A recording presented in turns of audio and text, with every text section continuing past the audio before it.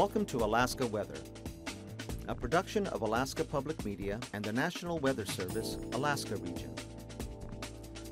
Produced and broadcast daily from the studios of KAKM, Alaska Weather provides complete forecasts, public, marine, and aviation for all of Alaska. Alaska Weather is made possible by the following sponsors.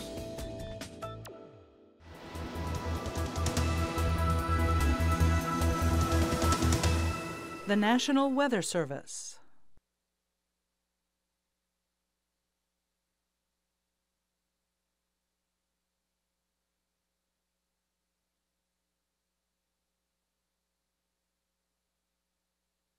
Uh, or actually today's breakup map showing uh, all the rivers down here just about south of the Brooks Range now are open.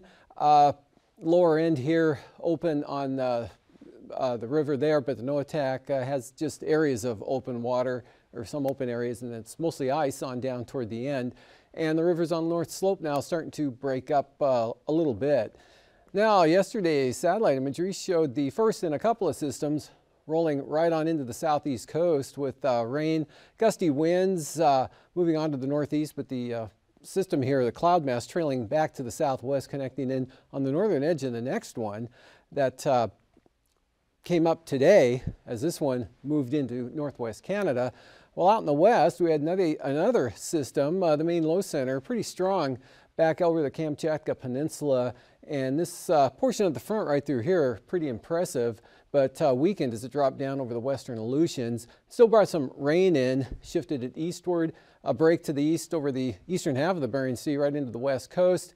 And uh, afternoon clouds, scattered showers, isolated thunderstorms over the interior, mostly cloudy down here to the south with uh, wet conditions along the North Gulf Coast.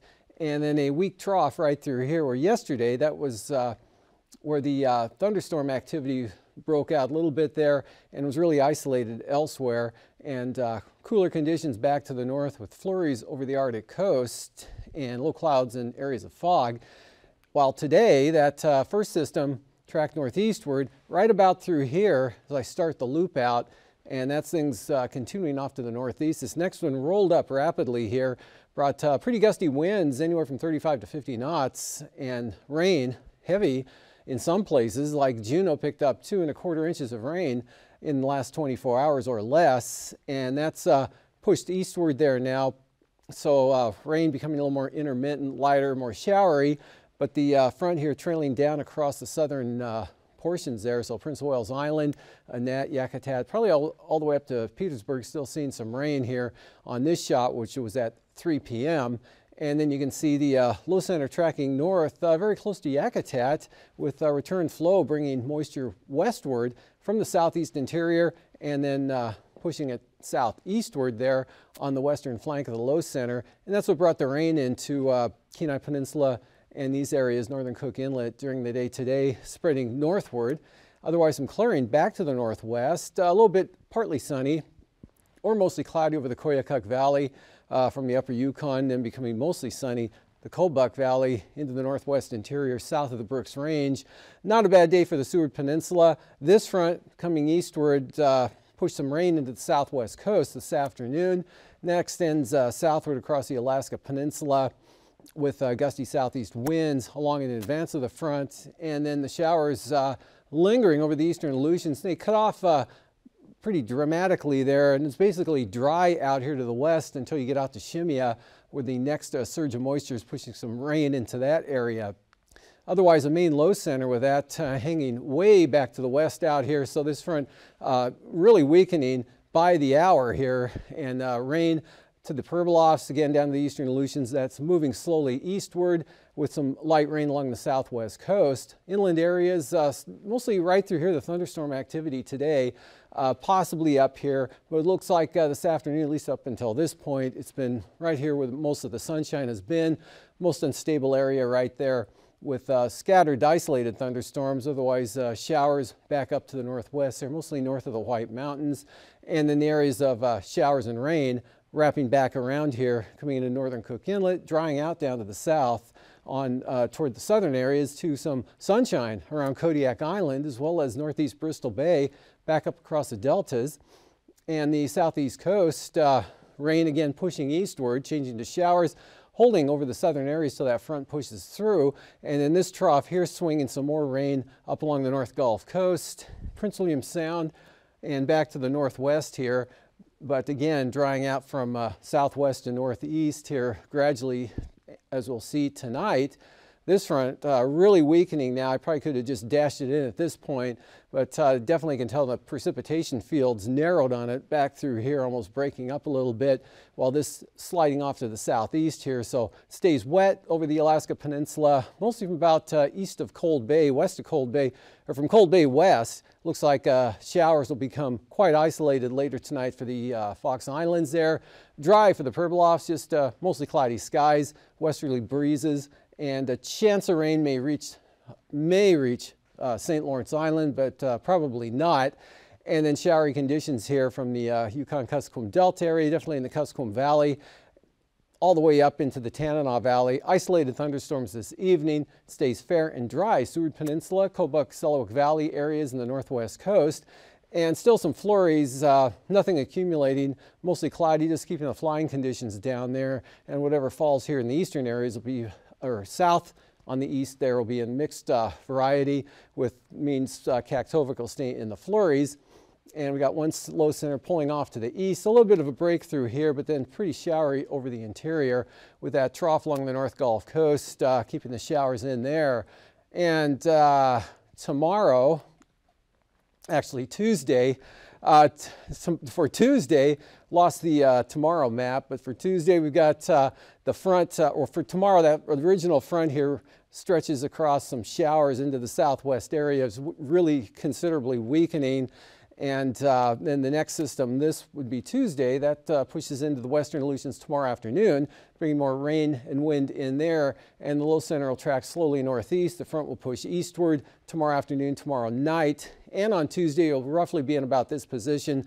So this one will hit St. Lawrence Island with some rain, rain spreading into the uh, Seward Peninsula area and actually a big slug of moisture along this uh, boundary here, which basically stays in place with the first one washing out, uh, slides northeastward uh, tomorrow night and slips right on up across the southwest interior. The good shot of rain coming up here. Some of that could be uh, moderate here, especially along the north coast of Bristol Bay and over the mountainous terrain. Sliding northward there. Looks uh, pretty wet, chance of rain all the way up to Kotzebue possibly, and then eastward along this trough, uh, this precipitation pattern, a little more convective in nature, isolated thunderstorms possible, more showery conditions, and scattered isolated thunderstorms, scattered showers, isolated thunderstorms here, Tanana Valley, down in along the Alaska Range areas, but kind of a break here, southwest flow, but uh, dry conditions, the rain still holding back toward Iliamna Lake and along and west of the Alaska Range. So this will be slipping up the Kuskokwim Valley throughout the day. So clouds increasing, throughout precipitation increases uh, for Nikolai and McGrath. Uh, probably be into the rain for Sleetmute there, and of course back to the coast. And then uh, dry for the North Gulf Coast. Uh, light west winds here with uh, some possible sunshine getting over to Yakutat, Cordova, Cape Yakataga into Prince William Sound. And uh, showers on the decrease here from northwest to southeast. A couple of troughs slipping onto the southeast takes a pretty concentrated area of precipitation into British Columbia. So uh, showers will be tapering off and possibly ending in the afternoon for the northern areas. Otherwise, the north slope, about the same pattern there. Uh, flurries on the east side, mostly dry possibly to the west there with maybe some sunshine the western north slope. And uh, anyway, for the temperatures along the panhandle this afternoon. Looks something like this, uh, lower 50s from Elfin Cove to Sitka, on down to Klawock, 52 degrees, 53 in Petersburg, Skagway up to 55. Uh, pretty uniform temperatures with all the wind and rain and clouds down there. Yakutat at 49, 50 degrees Cordova, 44 at Gulkana, kind of chilly there with uh, actually upper 40s here for Cook Inlet, all the way up to Palmer with 48 degrees. Same thing there at Homer, 50 degrees in Seward. But uh, Talkeetna up to 61 and uh, breaking out there at Kodiak, 60 degrees, otherwise Akiak at 52. Up in the uh, central interior, temperatures lower to mid 60s with 64 at Tanana, Fairbanks 62, chilling off to about 58, both at uh, Delta and over at Fort Yukon 64. or Eagle 58, Fort Yukon back up to 64, and a nice 62 at Bettles, and then down into the upper 20s to uh, lower 30s over the Arctic coast, Kaktovik up to 33. 30s over the northwest, 37 Kivalina, Kotzebue just 31 degrees, 42 at Nome, 50 degrees Unalakleet, St. Michael 52, and a 58 at McGrath, mid to upper 50s all the way down the river valleys there out to the deltas to uh, upper 40s along the coast. Savoonga 36 above, Pribilofs lower 40s, mid 40s, Adak and Atka, as well as Unalaska, and uh, all the wind or the rain with that, keeping it mid to upper 40s there for the Alaska Peninsula. But King Salmon in the sunshine pushed up to 60. Lows for tonight, uh, 30s here along the coast, uh, rising into around 40 as you head northeast. Warmest locations here for the interior, up over the uh, Copper River, or the upper Yukon Valley areas and southward, and then the Copper River Basin falling back into the upper 30s, upper mid, mid to upper 40s for the Panhandle. And for tomorrow, for highs, uh, not too bad for May, but not all that warm either, but uh, nice 60s here through the central interior, possibly again for the Susitna Valley. And the Panhandle mid 50s there, 40s out west here for the Alaska Peninsula Aleutians, falling into the upper 30s at St. Lawrence Island. Arctic coast, uh, maybe everybody will slide up to or above the 30 degree mark. And for flying weather tomorrow morning, IFR here along the southwest coast, St. Lawrence Island, down across the Alaska Peninsula, areas of along the North Gulf Coast, and tending to break up over the panhandle, and then that southerly flow, look for some IFR in the southern slopes of the Alaska Range, and then uh, out to the west, uh, off to the southwest there of uh, Kamchatka and Kiska Islands. For tomorrow afternoon, that kind of slides eastward here, but uh, becomes a little more expansive. So IFR for Adak, definitely for Atka. Northward, chance of IFR at times for the Pribilof Island, St. Lawrence Island. Better conditions on the Arctic coast, north slope areas of marginal conditions, marginal VFR on the uh, upslope areas of the Alaska Range, western and central, and then quite an area of IFR. Uh, more moisture slipping on up here into the southern panhandle there. Probably some rain, while the northern areas will see uh, showers. And for Anaktuvuk, passes looking good, wide open for Anaktuvuk. Well, there'll be some clouds, but it'll be VFR type clouds. Won't be uh, visibility is unlimited. Lake Clark and Merrill, marginal at times. Same forecast for rainy, marginal at, at times, and windy, marginal VFR, lowest conditions on the southern entrance. And for Isabel, starting out VFR becoming marginal in the afternoon. And for Mentasta, though, it'll be remain VFR. And for Tahneta, look for marginal VFR improving to VFR in the afternoon. Portage marginal VFR still a risk of some IFR conditions here on the eastern entrance. And for uh, and White, marginal. For the freezing levels, uh, 4 to 6,000 feet from the Seward Peninsula up to 6,000 feet over the eastern interior. And still uh, with that uh, the jet here, got the gradient from 6 to 10,000 feet across the southern panhandle, 2 to 4,000 feet over the southern Bering and Aleutians. Icing, most, uh, again, another batch of moisture slipping on up uh, tomorrow, so that's going to hit the southern southeast coast with some areas of light to isolated moderate rime icing above about 6,000 feet, uh, possible uh, mixed icing chances over the northern panhandle. And the same thing here through the interior, just some areas of possible mixed icing extending up across the upper Yukon Valley. And then the next batch here of mainly rime icing pushing eastward to the Pribilofs into the central Aleutians. Jet stream, Westerlies right along the Aleutians takes a turn to the north across the southern southeast coast at about 100 knots. Upper level low here south of the Kenai Peninsula. 9,000 foot winds, uh, low off to, off to the southwest. So some ridging here across the southeast coast. Definitely lighter winds tomorrow. Light winds over the interior.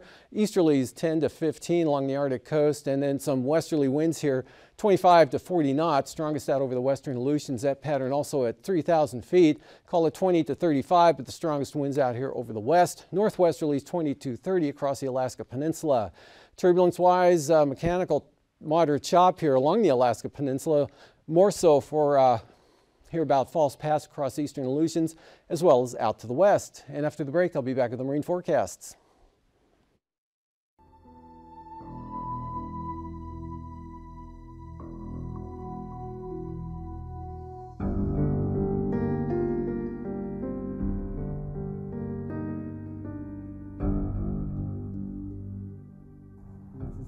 Beautiful days. More, more time you hear these seagulls all the time, you know. But there was none that day. It was spooky quiet. I looked down and there was a box of 22 shells, and I said, wow. I reached down and picked those up, and I said, man, this is going to be my lucky day. We were just about ready to make the set when we felt this tapping vibration in the bottom of the skiff. You know, we heard this roll rumble, rolling rumble. We didn't know what it was, because it was severe. And it started rolling. And it was just uh, like that first. You got to remember this is during the Cold War. My immediate thoughts were they nuked Anchorage. It was just awesome. All hell broke loose, and the ground started rocking and rolling. And uh, my little buddy told me, earthquake, run. So we started running. The earth was opening up right across the street, right in front of me, and black water was shooting up in the air about, I would say, 15 to 30 feet. The tops of the phone poles snapping off. The trees were whipping back and forth. And it just kept right on a shaking. And as, as it got long, further along, it was worse. As we stood there on the corner, the first of the Standard Oil tanks began to explode. Hundreds of thousands, maybe millions of gallons of fuel that were burning. And it burned and burned and burned. It was light as day that night, except for the black soot that was falling. March 27, 1964. Alaska had experienced the most powerful earthquake ever recorded in North America. The magnitude 9.2 quake left Anchorage and other communities devastated. And although there would be aftershocks for weeks, for most of Alaska, the worst was over. But for many coastal communities, the horror was only beginning.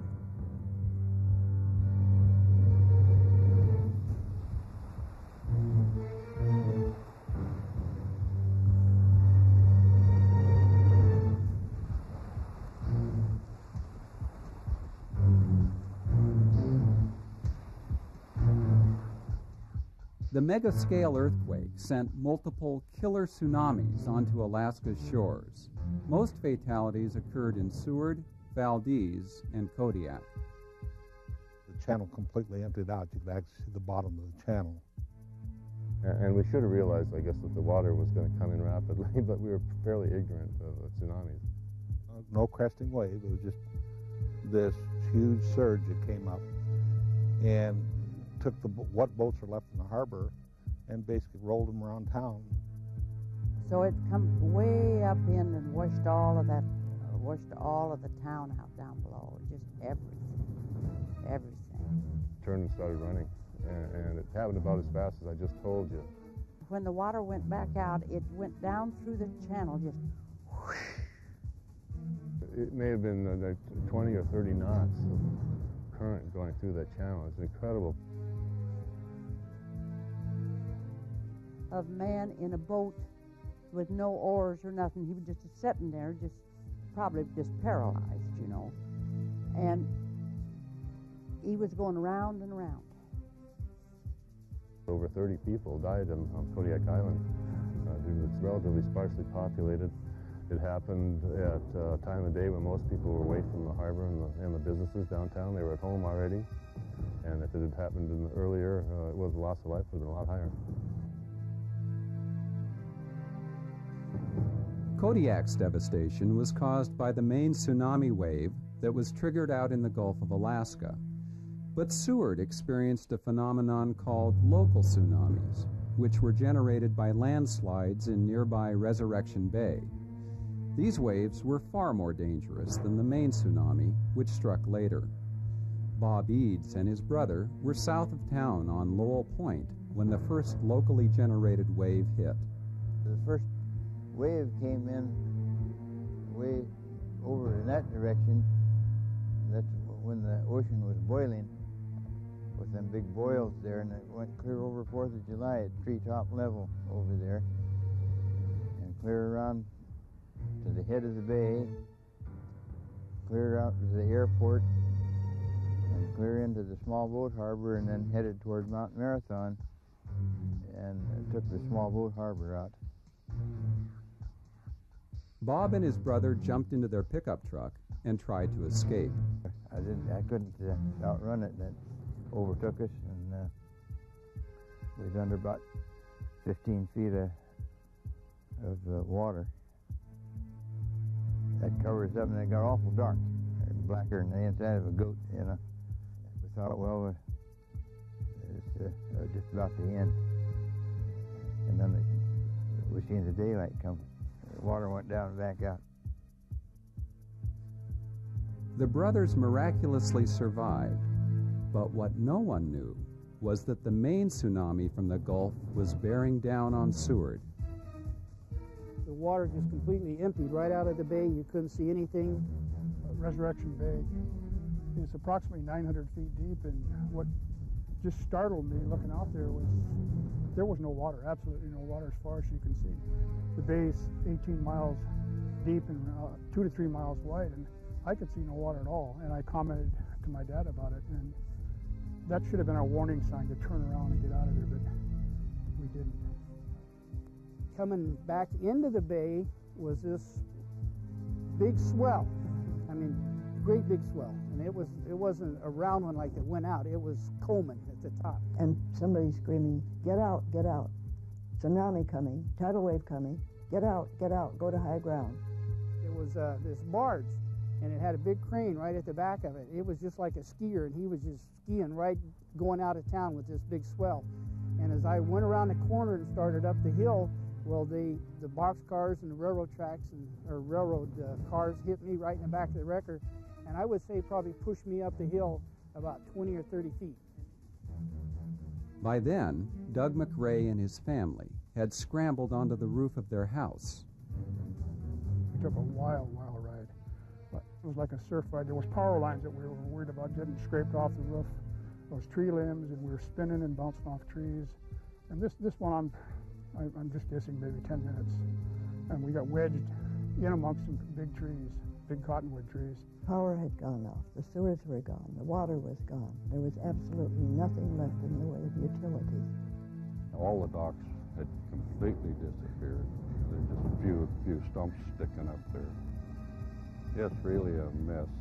And uh, basically for us, Seward was gone because uh, our livelihood was gone, our our employment was gone. The canneries were gone. Finally, I turned to my mother and said to her, Well, Mom, there goes your All America City. And we laughed.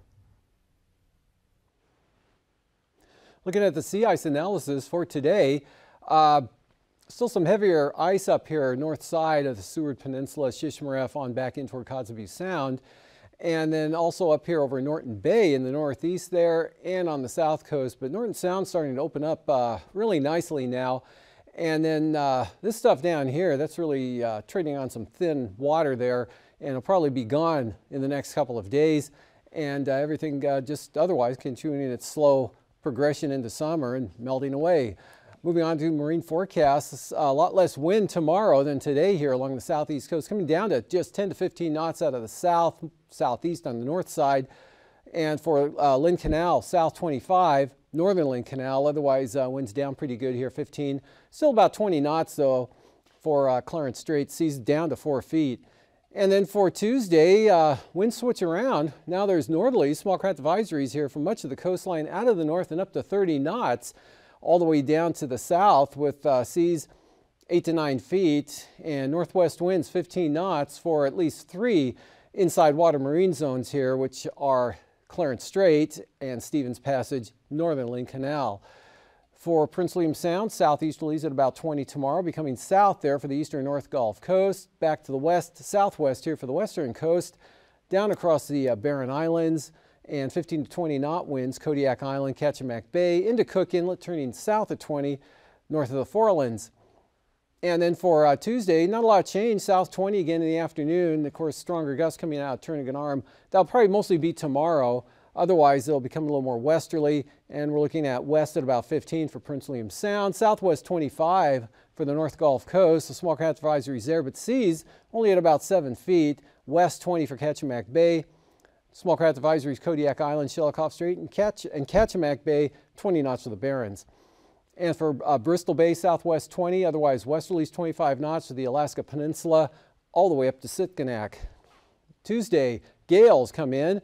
Pretty good uh, system pulling in here, so south to southwest 35 knots for the Alaska Peninsula, coming up to 25 knots for uh, Bristol Bay, and then uh, 30 knot winds all the way up to Sitkinak.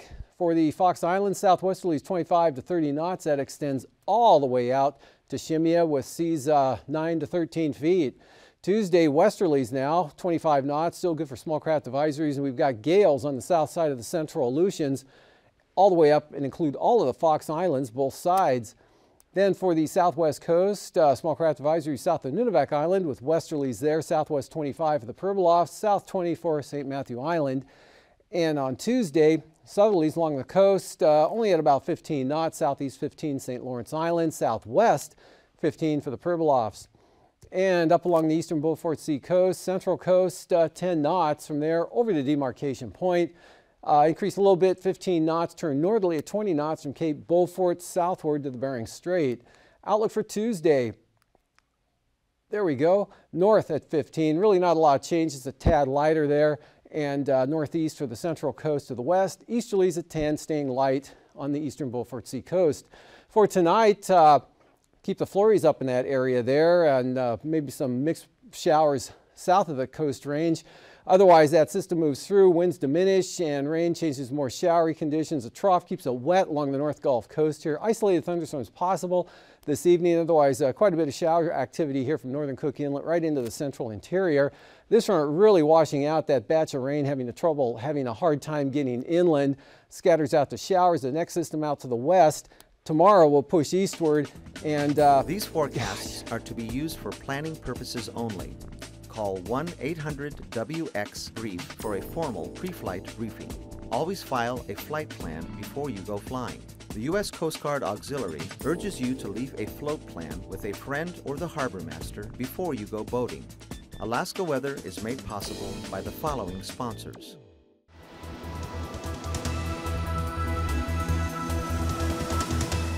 The National Weather Service.